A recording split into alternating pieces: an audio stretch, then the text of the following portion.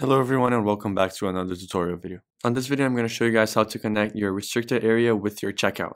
So first you got to have your checkout page over here just like this one and also you have to have a members area or a restricted area. You got to can click over here and see that it is a restricted area and to connect it with a checkout you just got to come over here click on this lock go all the way down to checkout and over here you're going to have three options that create page, create checkout and link with a current restricted area create just a checkout and link with the restricted area or do nothing and you do this later. We're going to choose the first one to create a page at checkout and link it with the restricted area.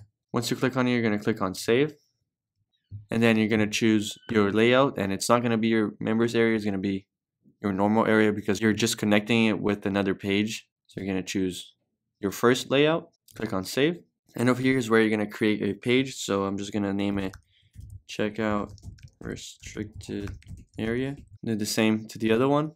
Click OK. Over here you have the one step, two step, and three step checkouts. For this example, we're going to choose the three step checkouts just because it's going to show the one that we want for this example. We're going to click OK. Wait for it to load out over here.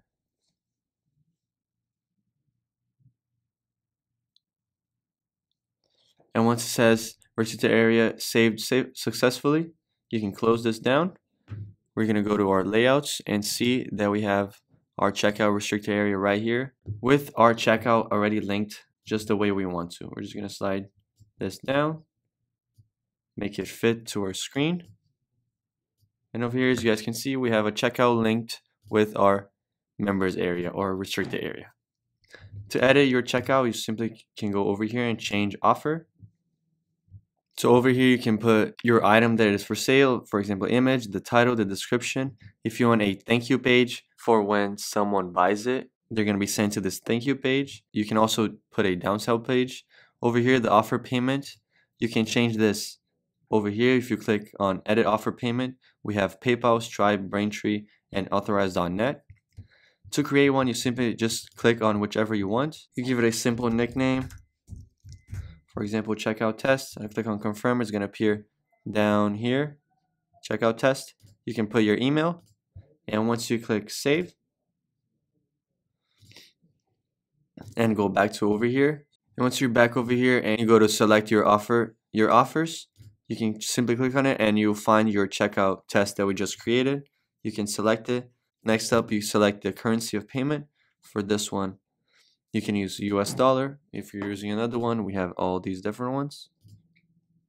If you have an expiration date for your product, if you want a automated email theme, you can just leave it at default. You can select a MailingBoss list to connect. For this one, I'm just going to connect my membership funnel. If you have a custom webhook, you can link it over here. If not, you can just leave this in blank. And if you have any coupons, you can also put them over here. Or you can create a coupon just right here. Once you're done setting up your checkout, you can click on next and you can see your item name right over here. This is where you're able to see that it is connected to your members area right here. This is checked. You can check it again. You can change the item name, the price, and the description.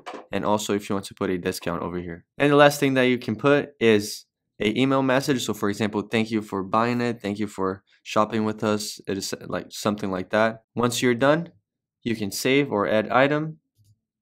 I'm just going to save it and my offer will be saved. And once you are done setting everything up, what this means, what this connecting your members area with your checkout means is, let's just go on preview over here so I can show you guys.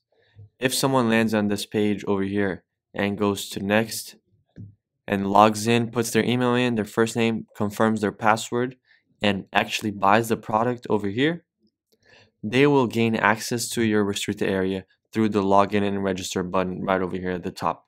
So once they buy it, they're gonna have they're gonna be redirected to your thank you page or whatever page you set them to be redirected to, and they're gonna be able to come over here on your home button, log in, and gain access to your restricted area with the email that they previously used on the login sign up page. And this is how you create a checkout linked with your members area. This is going to be it for the video. Thank you for watching and have a great day.